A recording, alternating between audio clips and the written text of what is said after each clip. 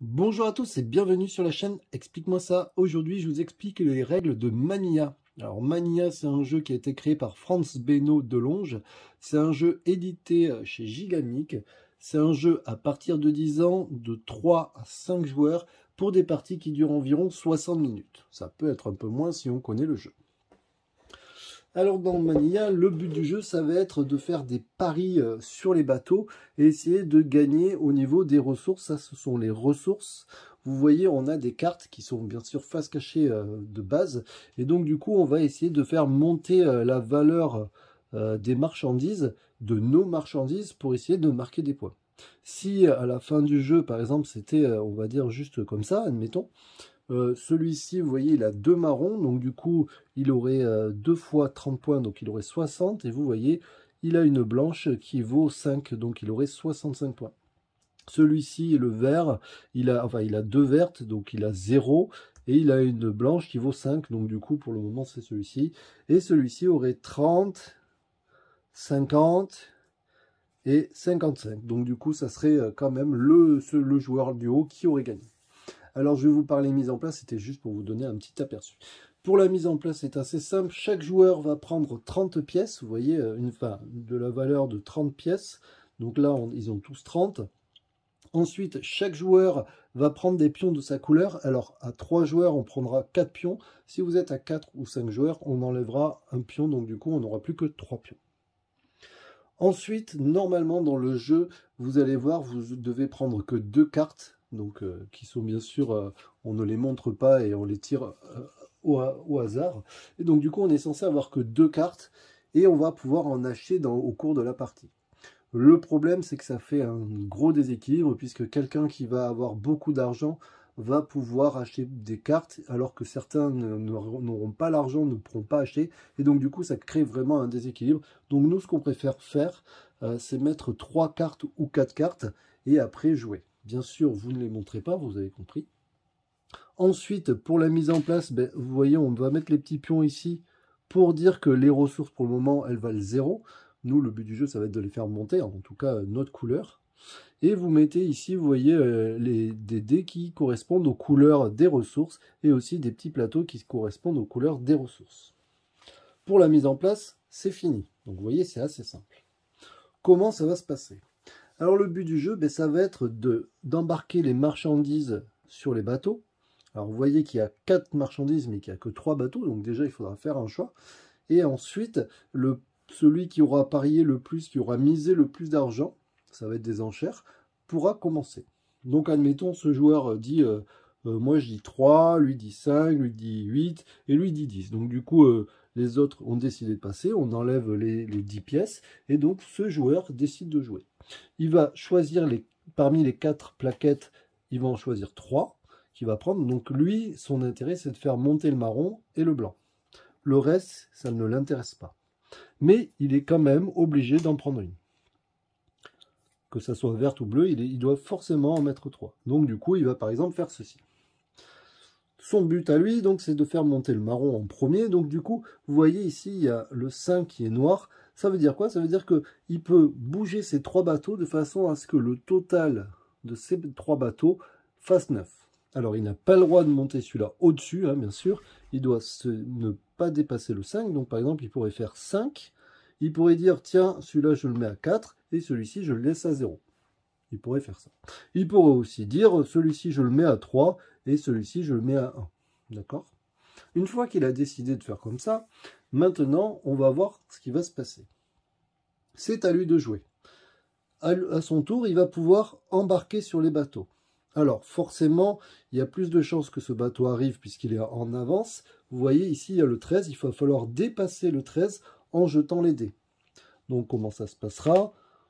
Pour que vous compreniez, on a le dé marron, on prend le dé blanc et le dé vert, donc le bleu n'est pas utilisé. Et donc du coup, on va jeter les dés.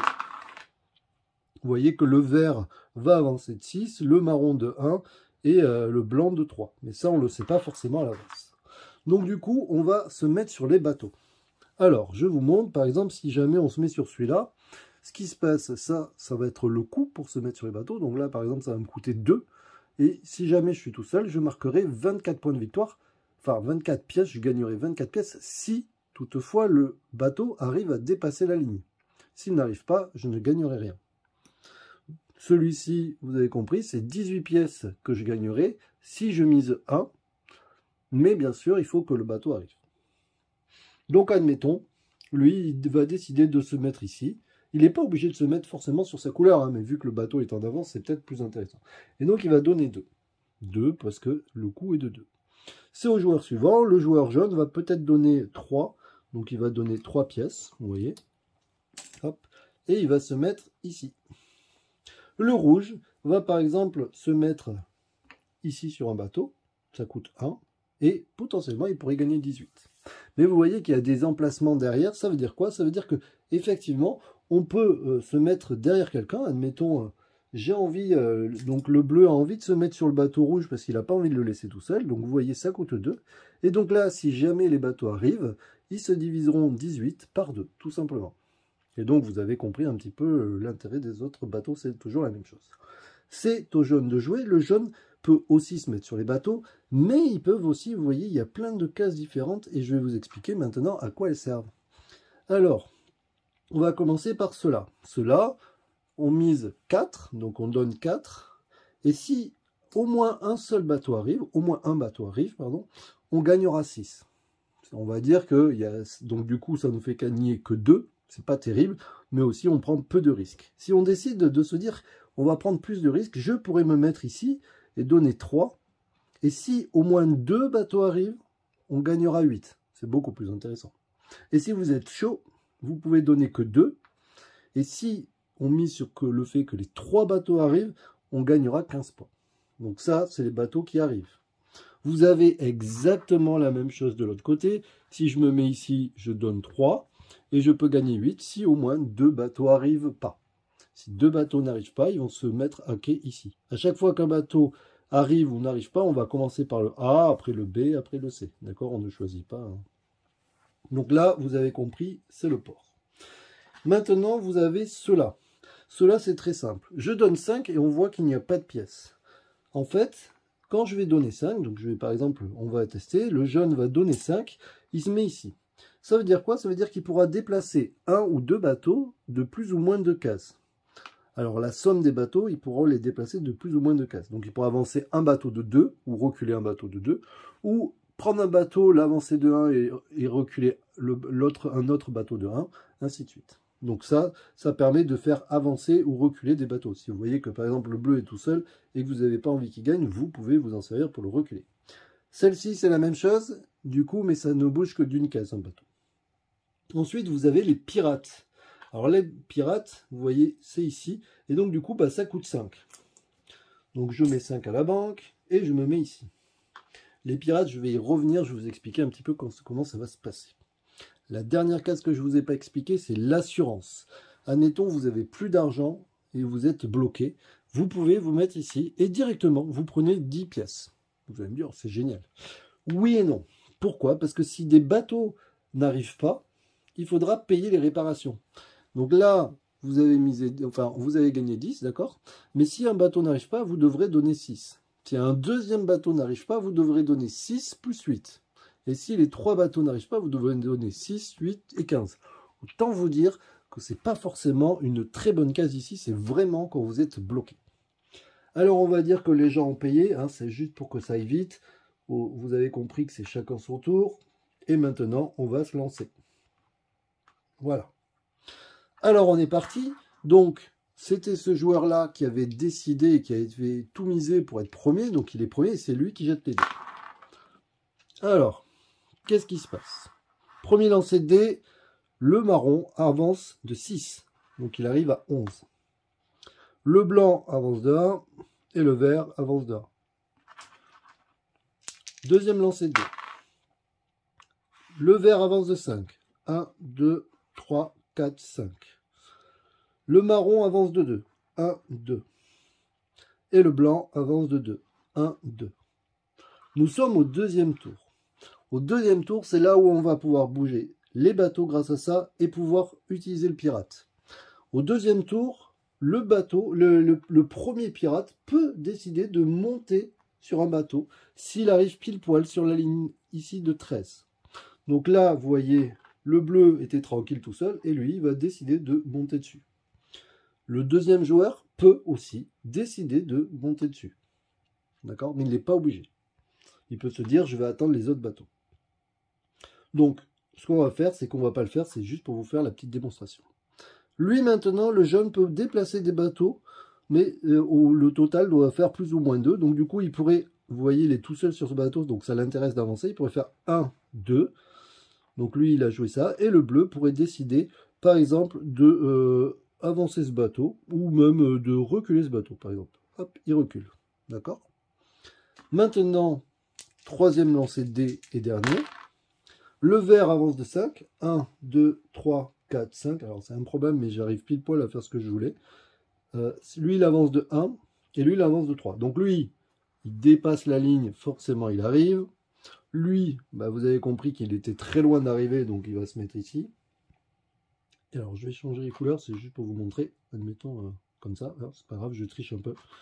Euh, je vous fais ça, ok Si jamais, au troisième tour, le bateau arrive pile poil sur la ligne 13, et là, c'est le top du, top au niveau des pirates, on vire tout le monde, tous ceux qui étaient dessus, même s'ils étaient 4-5, on vire tout le monde, enfin, s'ils étaient 4, parce qu'il n'y a que 4 remplacements, ils virent tout le monde, ils gagnent forcément 36, d'accord? Ils gagnent forcément 36, et là, en plus, il a le choix, soit de le faire arriver, soit de ne pas le faire arriver. Et ça, c'est énorme parce que, en fonction de ses cartes, si par exemple, il n'a pas envie, euh, vous voyez, que le vert monte, parce qu'il n'a pas de vert, admettons c'est ce joueur, il n'a pas envie euh, que le vert monte au niveau des ressources, il peut très bien dire, je ne le fais pas arriver. Et donc maintenant, les joueurs qui ont posé ça, bon, ben, récupèrent leur pion. Lui, il récupère son pion. Celui-là, vous voyez, il n'y a pas de bateau en face, donc il n'a rien gagné. Et là, maintenant, on va compter. Le rouge et le bleu étaient deux sur le bateau, du coup ils se partagent 24 en deux, donc ils auront 12 chacun. Donc ils prennent 12 pièces, hein. je ne vais pas le faire, mais vous avez compris un petit peu l'idée. Ce joueur bleu, le bateau est arrivé, il gagne 6, pièces, donc le bleu gagne 6 pièces. Le rouge et le bleu se partagent 18, donc ils auront 9 chacun. Le rouge gagne 6 pièces. Le rouge, je vous l'avais dit, il gagne 36 pièces. Donc là, vous voyez qu'il a un certain avantage pour pouvoir après être le premier en misant. Et euh, le jaune va gagner 8 pièces. Bien sûr, vous devez euh, montrer vos pièces pour que les gens puissent regarder. Et là maintenant, on regarde les bateaux qui sont arrivés. Là, en l'occurrence, il n'y a que le marron. Et donc, du coup, tout simplement, la ressource marron va monter d'un cran. Donc, vous avez compris l'idée on fait plusieurs tours comme ça, jusqu'à temps qu'il y ait une ressource qui arrive tout en haut et on compte les points. C'est un jeu très sympa, bien stratégique, bien rigolo. Alors oui, stratégique, euh, pas vraiment, parce que vous pouvez, euh, c'est vraiment un petit peu au petit bonheur la chance. Mais euh, vous pouvez prendre des risques, et en fait, vos risques vous rapportent ou non. Vous voyez, le pirate, c'est 5 à chaque fois, vous pouvez souvent perdre. Et là, je vous ai fait une démonstration sans faire esprit. Et les deux pirates ont pu monter plus en troisième, ce qui arrive très rarement, puisqu'il faut qu'ils arrivent pile poil sur ce lit.